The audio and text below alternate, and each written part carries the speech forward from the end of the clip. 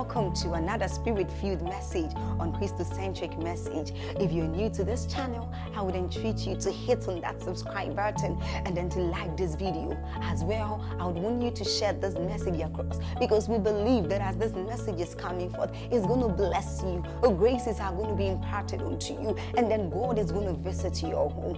Thank you for watching. Stay blessed. You have been taught that businessmen don't pray, they just think. But the formula designed for your own advancement, because of the field wherein you have found yourself, you will pray as if you're a prayer warrior and yet you're a businessman. It is the strategy for your victory.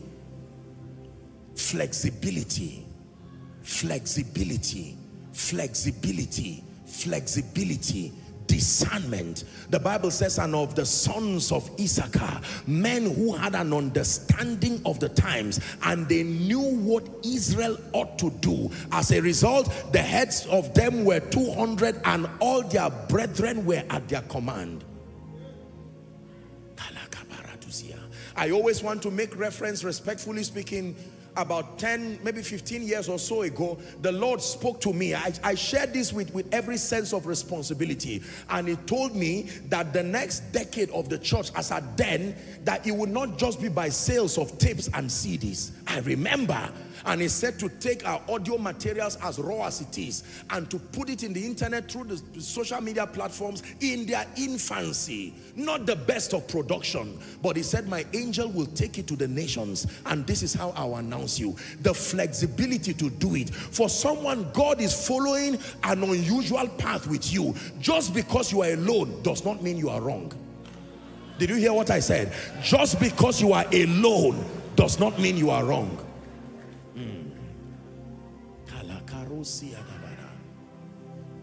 Enda shalika parako sedebelekusia. Ena shanaka sobradigebeletusia. Just because you are alone does not mean you are wrong. This is a word for someone.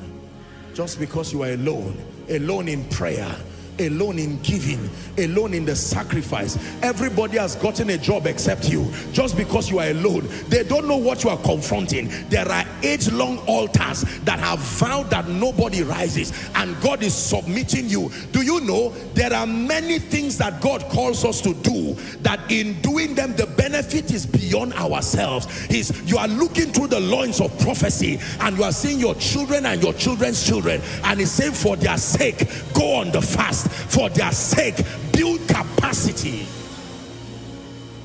Elijah you are a prophet but eat the journey is far. You'd have no idea where you are going. He ate a little and he slept. He woke him again. He said eat it means pray. It means study. It means get knowledge. It means build the relationships now. You don't know how far you are going. You may not have the luxury of these men you are seeing now. Invest in relationships. Invest in prayer.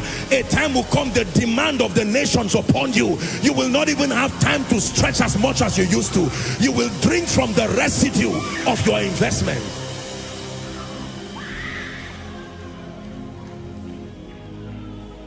This is the place of encounter.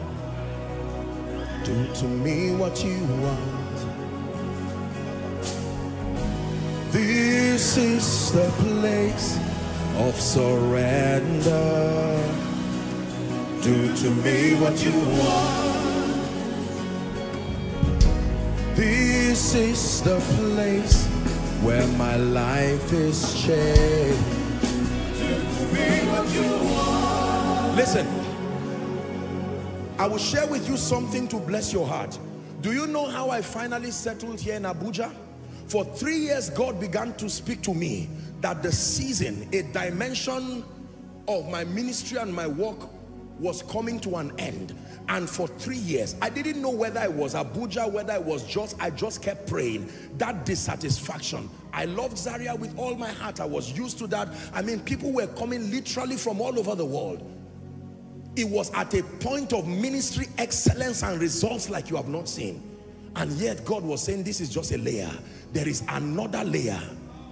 Remember ye not the former things. You can like yesterday too much. You will lose tomorrow because of yesterday. Listen, I returned back from, I think, South Africa, had a meeting in Lagos. COVID was just about to start. Now, Abuja has always been second home, but not for ministry. I didn't know whether it was Abuja, whether it was it was just perhaps maybe among my people to just go. It was just in my heart. I knew I was having visions. They were not yet clear. You don't. It does not become clear from the beginning. It is not an unusual experience you are having. That's how we all pass through. it.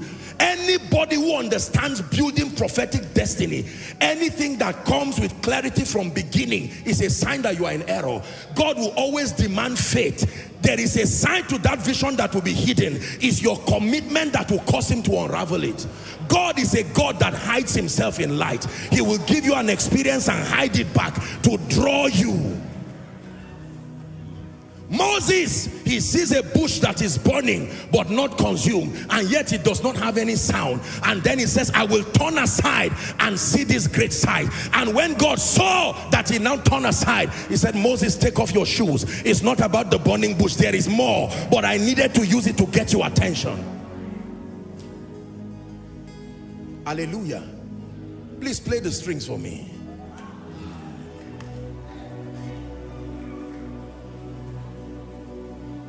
Listen, ladies and gentlemen, what I'm teaching you by the Spirit of God, I'm giving you a compass to navigate the days that are now before us because there will be a divergence. Respectfully speaking, you will find out that many, many lampstands will suddenly go down and then others from nowhere. Yet there are those that will remain burning because of the intelligence to discern and to navigate prophetic seasons. Just because you were greatly demanded of and for yesterday does not mean the demand will remain tomorrow. The sustainability of impact in the kingdom is predicated upon your ability to discern seasons. He made lights and those lights were for seasons and for years.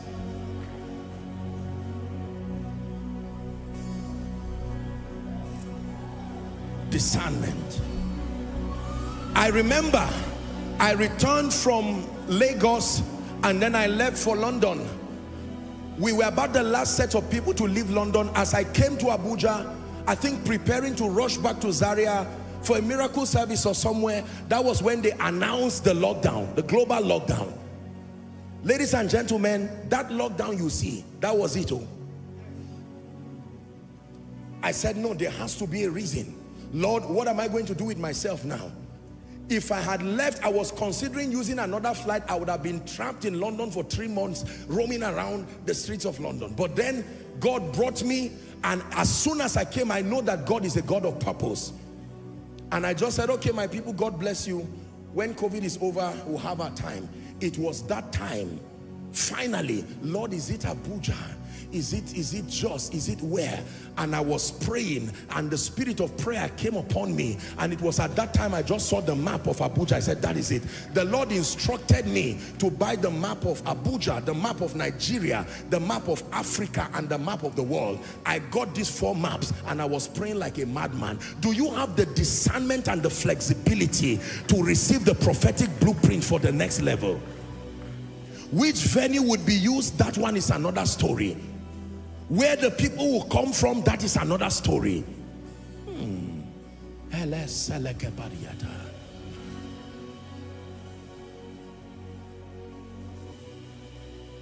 Hallelujah. Hmm. I began to pray, laying hands on those maps every day, praying Lord, when you give the word, great is the company of them that publish it. I may not see the wind, I may not see rain, yet the valley shall be filled with water. Mine is to pray, mine is to prepare. The Bible says, when he, the spirit of truth, is come, he will guide you. Holy Spirit, this is what you are meant for. Now I yield myself to you. Direct the course of my life. When you see any man looking like a sign and a wonder, let me tell you, they have only learned how to move with the wind. The Bible says the wind bloweth where it listeth. You cannot tell where it's going nor where it's coming. For somebody, God can just call you. You have been fasting for every day, but that one day fast is where the blueprint of your destiny will be revealed. But do you have the flexibility? Flexibility. Flexibility. It was time to turn water to wine. The Bible says the wine finished. And then they came, Mary led them to Jesus. Watch this. And Jesus said, are you sure you really want new wine? Yes, we want new wine. Embarrassment is imminent. He said, all right, be ready to do what you've never done. Get six pots. Never has wine been formed that way. No. Wine is formed through fermentation. Is that true? And now he's using another formula. And then they filled six pots. He said, fetch it. Don't taste it. Don't verify. Just be on your way. The Bible says, as they went in shame, what if nothing happened? Do you know they would have killed them at that point? In a feast, embarrassment is there. You now come and add to it. But as they went, in the foolishness of obedience, a miracle began to happen. The Bible says when the rulers tasted it, they said, ah, what is this? People bring their best wine at first. That means there is a kind of wine the church has not tasted. There is a kind we thank God for our fathers. We thank God for generals both in the Bible and in history. But I assure you by the authority of scripture there is a kind of wine that must be tasted before his majesty returns. And there are men and women ordinary men ordinary psalmists ordinary prophets ordinary apostles ordinary businessmen. Listen we don't know how to make wine but we know how to carry it ah, we can carry to nations. We are not the ones making the wine, but we can carry the wine. We can carry the wine. We can carry it to nations. We can carry it across the globe. And no power in existence sustains what it takes to stop the transference of that wine. The wine is not from us. We are not manufacturers of wine. We only take it to the rulers of the earth.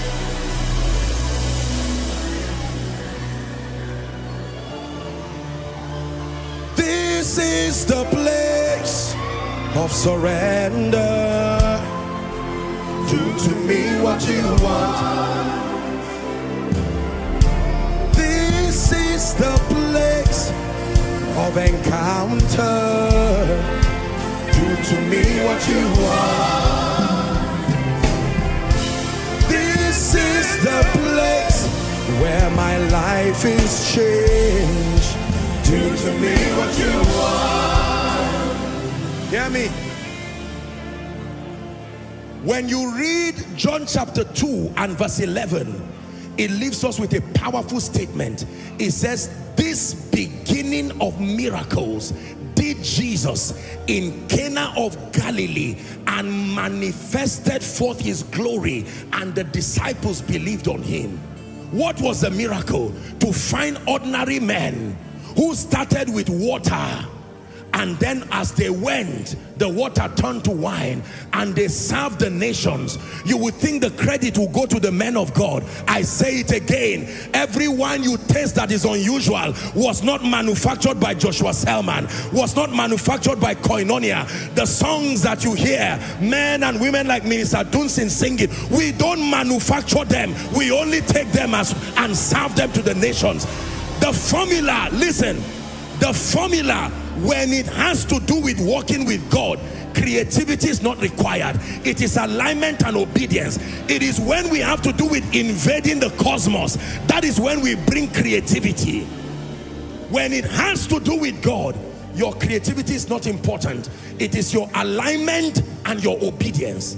Then when you receive from his presence, you now add creativity to that which you have received. Hallelujah. Behold, I do a new thing. You want to navigate prophetic seasons in your life. You must understand the power of the new. The first key is discernment and flexibility. Let me give you the second very quickly. The second key when you want to experience new things in your life is that you will need strength and courage. Strength and courage. Joshua chapter 1, please, 5 to 7. Strength and courage. There is nobody who is able to explore virgin dimensions in the spirit and become men of power and stature when you do not understand strength and courage. Joshua 1, 5 to 7. 1, 5 to 7. 1, 5 to 7. Thank you. There shall not any man be able to stand before thee, speaking to Joshua, all the days of your life. I hope you know he had never assumed leadership in this capacity. The Bible starts by saying, Moses, my servant, is dead. Get over it. I love Moses. I use Moses, but that formula is dead. Good things can die. It's not only evil that can die. God is a God of evolution and transition as far as his work with the saints is concerned. There are many good things he may need to shelve because there are greater things coming. It is not only evil or bad things that are thrown aside. As I was with Moses, so I will be with thee. I will not fail thee nor forsake you. Verse 6 it says be strong. He's speaking to a man who is about to assume enormous office. A, a, an office that would demand I mean the continuity the manifestation of prophecy depend on his leadership. And yeah he's speaking to the people. No idea of the battles that were before him. And Joshua was told to be strong and of a good courage. For unto these people shall thou divide for an inheritance. I hope you know the inheritance is talking about hard giants there. And yet God did not even, he was talking as if the giants were already dead. Share the inheritance, which I swear unto the fathers to give you. Seven. Only be thou strong and, a, and very courageous. Be strong. Be very courageous. Can I tell you? Men who will understand, navigate, and excel as far as the prophetic shift that is happening is concerned are people who have strength. Strength and courage. Courage to stand alone. Courage to be controversial. you cannot be agreeable and step into prophecy. Hallelujah he comes to meet a young lady minding her business, preparing for her marriage. And he says, young lady, you have found favor with God. Blessed are you among all women. You will think after that blessing, she should be announced. She should be, he called it favor. I've studied Mary's life. From that journey until Jesus, I still don't know what is favor in that statement. I understand giving birth to Jesus, but the controversies that surrounded Mary from that time, Joseph wanted to quietly leave her. She was about to lose her marriage, lose her life, and yet God calls that favor. So pain can be favor.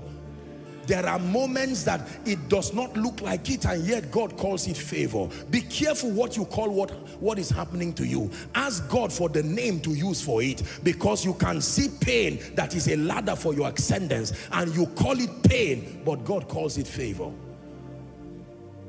You would see Jesus dying on the cross. You call that death but he calls that the path to victory. Today when we go to heaven, we don't just use crowns to know Jesus because there are men and elders who have crowns. But when everybody lifts his hand, the one who has the scar, that which was a, an emblem of shame, today is the symbol. That is that is the signature of his majesty. When jesus appeared he he settled thomas's doubting not by saying look at my head. He said put your hand. So the scars the nails you would have seen him three, four days ago and you would have assumed that such a weak Jesus, the foolish man at the other side of the cross, you heard what the guy was saying too. And the other one rebuked him and said, we are criminals here for a just reason. This man has not done anything. So don't call your lack of food. It's not poverty. It's not always poverty. You may be calling it poverty. God is calling it training. Training for where he's taking you. So that you will learn how to abound. You will learn how to do with plenty and with nothing. Are we together now? Believers must learn how to interpret the writings of the wall from the lens of the spirit. Otherwise, you will lose prophetic seasons because they do not come in an appearance that you are used to. You need courage. Say courage You need strength. Yes, the Bible says, by the strength of an ox is much good gotten. The strength of an ox. You see how an ox plows the field for hours, yet it is making the ridges. The strength of an ox is what you will need in this end time. There are times you have to stand alone for many years before others join you. There are times you have to see ahead of every other person, maybe in your family, maybe in your business, and literally be there for a long time before people begin to join you one by one. Do you have the courage to be alone?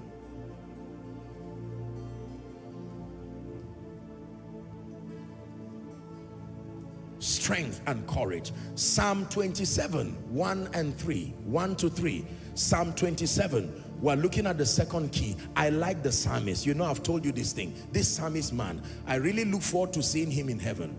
The Lord is my light and my salvation. The man suffered too much till he became wise.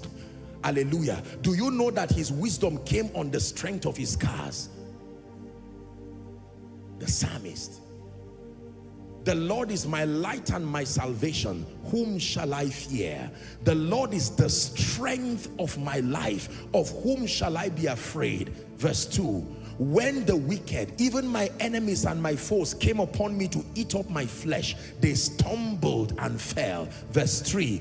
Though an host should encamp against me, my heart shall not fear. Though war should rise against me, in this will I be confident.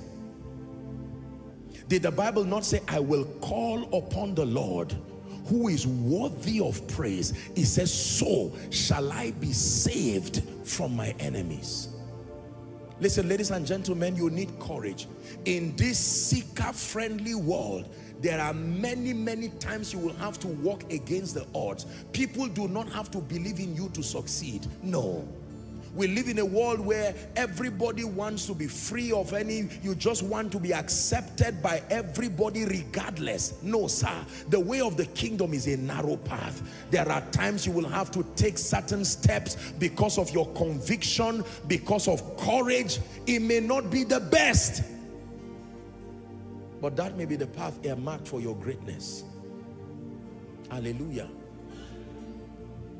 Courage strength. Number three, experiencing new dimensions demand obedience. This is a serious one. Obedience. King of kings, Lord of lords, faithful and true Lamb of God, we worship you. King of kings, Lord of lords, faithful and true Lamb of God I worship you. King of kings Lord of lords faithful and true Lamb of God we worship you. Emmanuel all Emmanuel. When you come again, Emmanuel. And the church will see your holy face, Emmanuel. When you come again.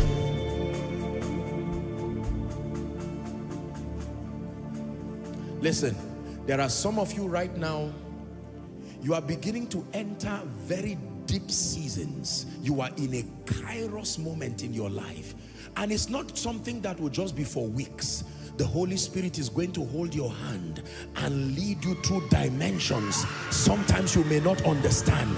I raise that song because I want to prophesy to you that you be strong in the midst of it. I charge you by the Spirit, be strong.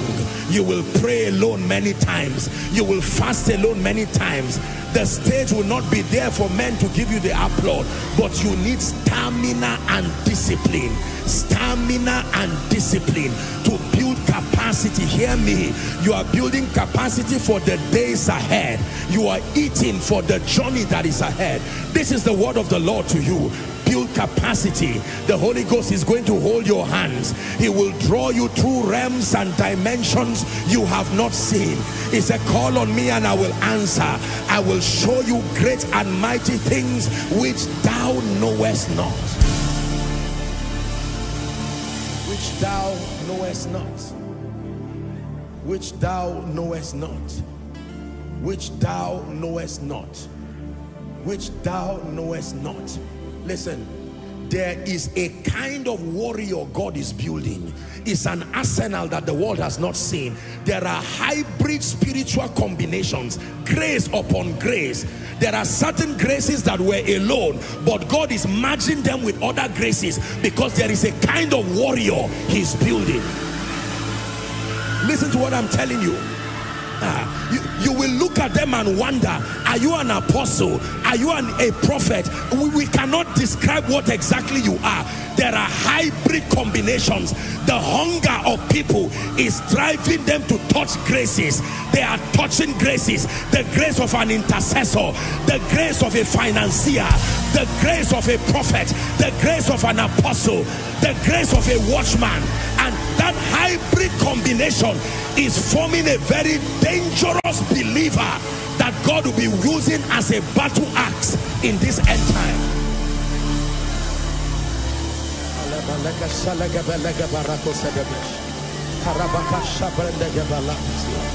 Listen, you see, before now, before now, there are certain pathways that when men see you following, they can almost predict. But right now, you see worshippers that you do not know. Are you a musician or a prophet or an apostle? Because there are hybrid spiritual combinations. That the hunger of men and the urgency of God's prophetic program is causing men to outsource graces. It's a dangerous spiritual combination. You will see men that are like armies. One man.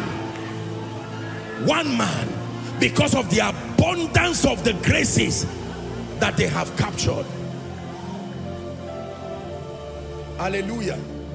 So you look at that man, you are seeing a Benny Hinn, you are seeing a Reinhard Bonnke, you are seeing a Kathryn Kuhlman, and you are saying, what kind of believer are you? Who combined you like this? The intelligence of the spirit.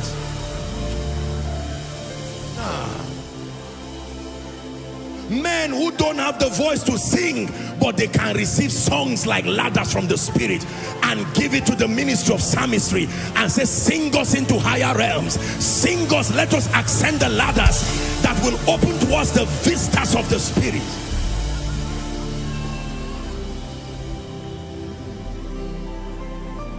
Listen. Do not be afraid. You started your journey thinking you are only a businessman but now you've gone through the training of a psalmist. You've gone through the training of an entrepreneur. You are now in the training of a prophet. You too, you don't even know the name of what you will become. He simply calls us witnesses because the nature of your assignment. Oh, David, a day will come. It is your song that will come out from your spirit. But don't just call me a musician because I sing. There is still a prophet there. And hiding behind the layer of the prophet, there is still a king that is there.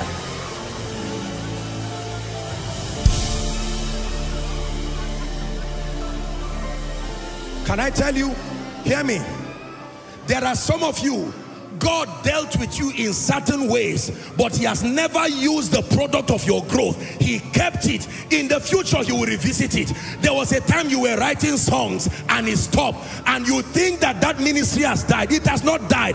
God is only focusing on other trainings. A day will come, he will tell you, reach down to that weapon of psalmistry. Bring it out. I suspended it so that I would train you in the prophetic. Now that you have become a prophet with fire, bring out that weapon of psalmistry.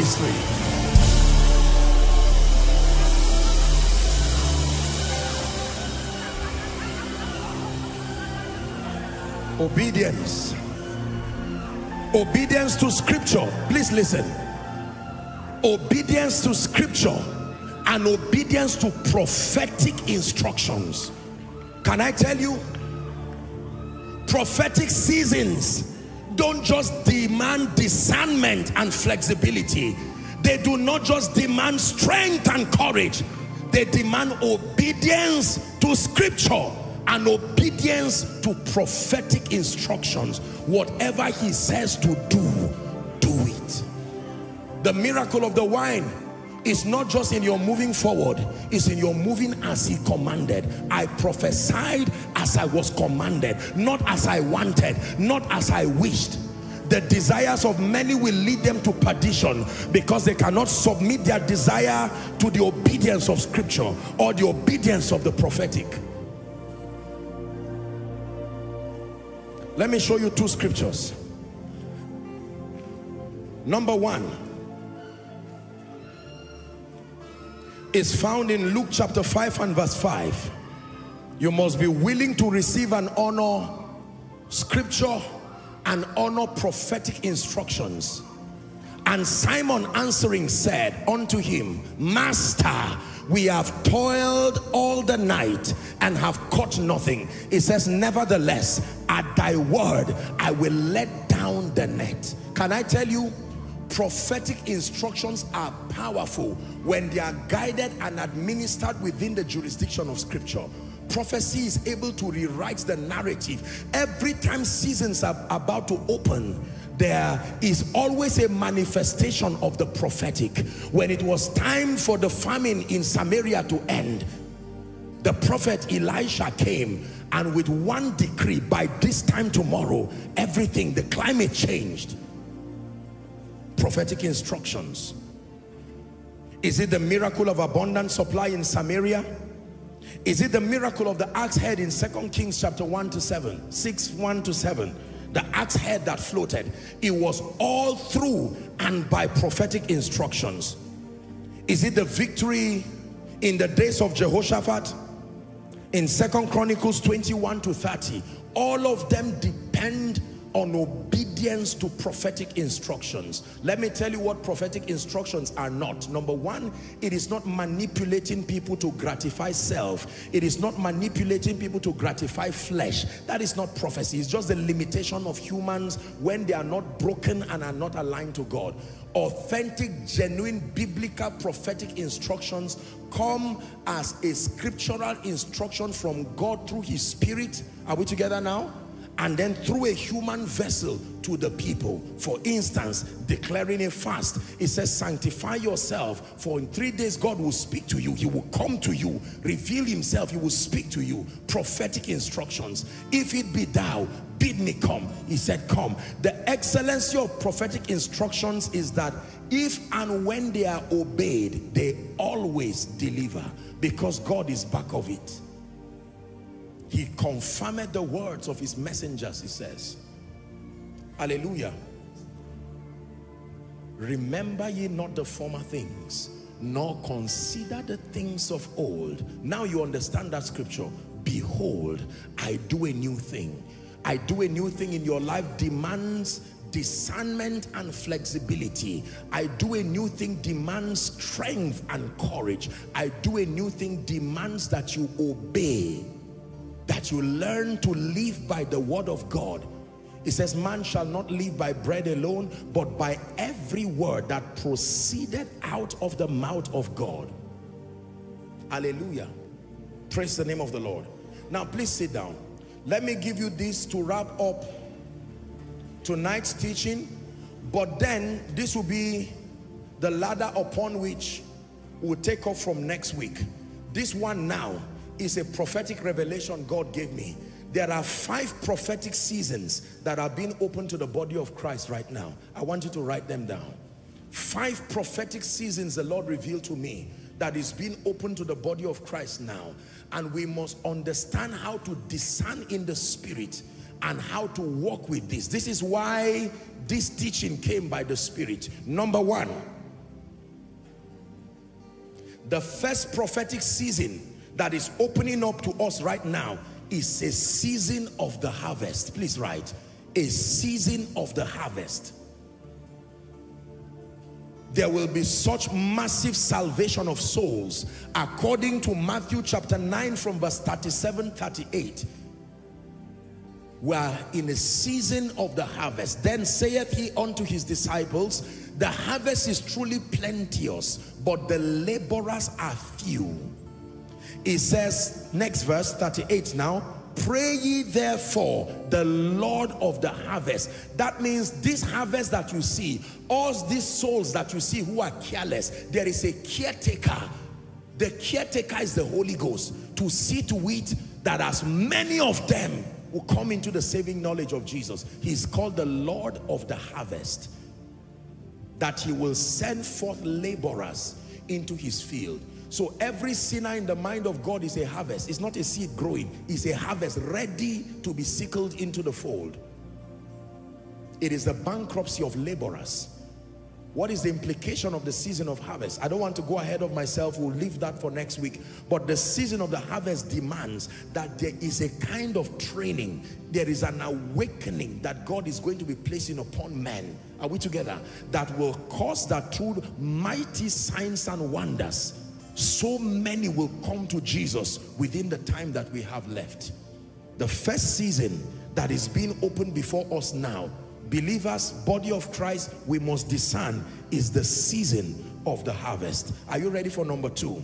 The second season the Lord revealed to me is called the season of abundance of grace. The season of abundance of grace manifestations of divine abilities and enablements in a capacity that has not been seen. You will see men carry weighty graces weighty possibilities. Ordinary men but empowered in such an unusual way. The Bible says how God anointed Jesus of Nazareth with the Holy Ghost and with power. Acts 10 38. And he went about. You don't go about. The difference between a madman and a destiny changer is what is on you. A madman too is going about, but he's not doing good. He's not healing they that are oppressed of the devil. There is a grace and a mantle is called an abundance of grace. Second Corinthians chapter 9 and verse 8. And God is able to make all grace hmm, abound. Abound means coordinated towards your direction that ye always having all sufficiency in all things may abound unto every good work. Most times when we quote this scripture, we only limit it to finance. This has nothing to do with money or finance. It was referenced while he was teaching on sowing and reaping. But this is a very powerful, potent spiritual law. God is able to make all grace a season of abundance of grace. What does that mean? Unusual manifestations. Joel chapter 2 from verse 28 to 32. You know the prophecy the prophecy of Joel, it shall come to pass afterwards that I will pour out my spirit upon all flesh, and your sons and daughters shall prophesy, your old men shall dream dreams, your young men shall see visions. 29. It says, and also upon the servants and upon my handmaids in those days I will pour out my spirit. 30. I will show wonders in the heavens and in the earth, blood and fire and pillars of smoke the sun shall be turned into darkness and the moon into blood before the great and terrible day of the Lord. Verse 32, it says, And it shall come to pass that whosoever shall call upon the name of the Lord shall be delivered. For in Mount Zion and in Jerusalem shall be deliverance as the Lord had said, and in the remnant whom the Lord shall call. This is very powerful. Abundance of grace. That means men and women will carry unusual ability of the spirit. Unusual abilities. Men like Joshua who would speak and literally the sun would stand still. Hallelujah.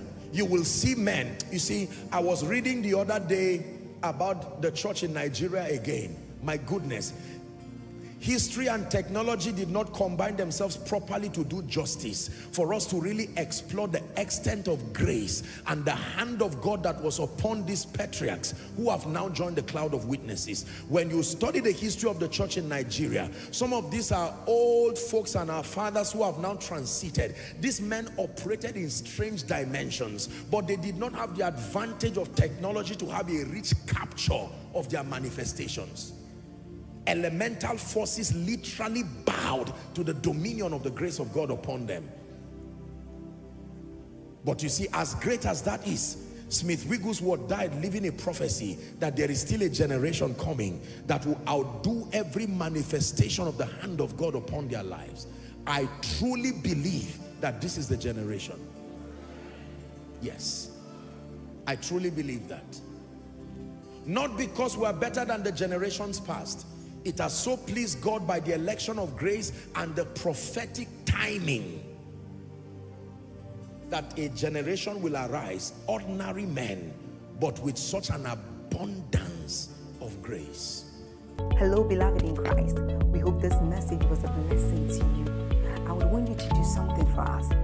If you are new here, kindly hit on that subscribe button for us and then like this video as well share to your family and friends to bless them because we know that this message will be a blessing to their body, to their soul, and to their spirit. We would need you to do one thing for us too. Tell us in the comment section where you were watching us from. And if you've got any testimony for us, kindly share with us. Thank you for watching.